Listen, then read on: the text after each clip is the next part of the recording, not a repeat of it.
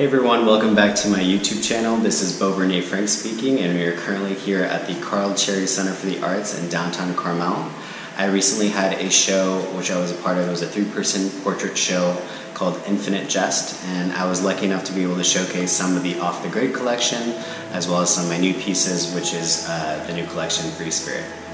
So just to give you a little bit of an insight into the Off the Grid collection and Free Spirit, it was a way for me to combine my love of traveling with art. I was trying to find a way to juxtapose portraits uh, with uh, landscapes, and I was able to do it by incorporating scenes from places in my childhood, places that I've traveled to, and places that really resonate with me. So I painted the portraits in black and white with oil, and I thought it'd be a really great way to draw in the viewer by adding in some color and some vibrancy with a nice little uh, landscape.